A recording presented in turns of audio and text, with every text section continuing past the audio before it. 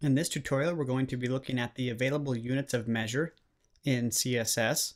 So let's take a look at a quick slide to understand the differences. Now there's two main categories. There's absolute units of measure and there are relative units of measure.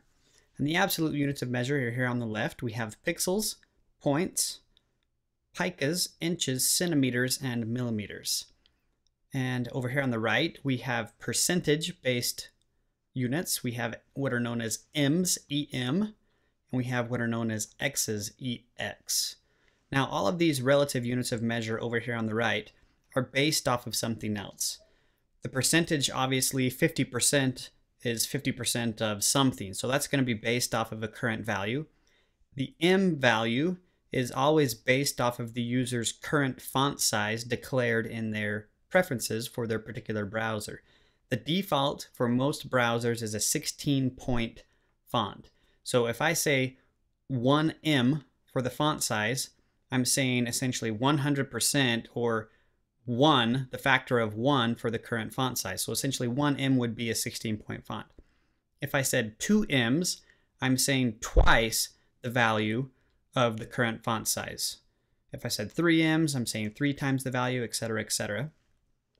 X is essentially the line height of a font, or it's the size of the lowercase x, whereas M is the size of the capital letter M in the current font size as well. So you can kind of think of an X as almost being a half of an M, 0.5 M.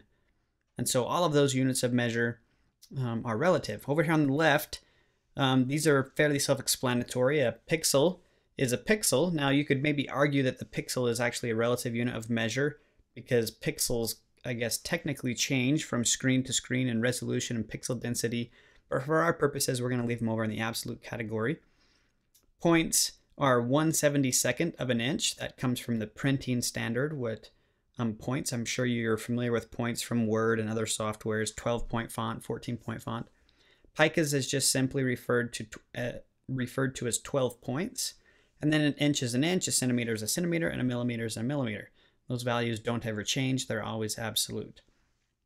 So we can use any of these units of measure in CSS, and I'll give you a quick example of how we can do that in our code. I'll switch back here to the previous example we've been working on, and I'm going to delete all of this code we had in here for our background image and save and come back here and make sure we're just kind of at a blank slate for our CSS. Whoops, I just closed out of there. Let's open this back up come into our CSS sheet and refresh. Okay, so we deleted all that content, so we're back to just where we've started. Now back here in our code, I'm going to change the font size of that object. And I'm going to use several different units of measure. So I'll start off and say font dash size, and let's just do a point based at first. So I'll say 18 points. And let's save and refresh, and that heading does in fact change to an 18 point font size. We can do Pica, so I can say 1 PC and refresh, and that's a 12 point font. I can say one, whoops, one IN for inch and refresh, and that's an inch size. Let's do the centimeter, and then we can do the millimeter. So you can see the millimeter is obviously a very, very small font size. So those are most of the relative units. I think I got them all. Let's switch over to the absolute. These are a little bit more abstract and a little bit difficult to grasp first. So at first, I'm just going to set this font size to 100%.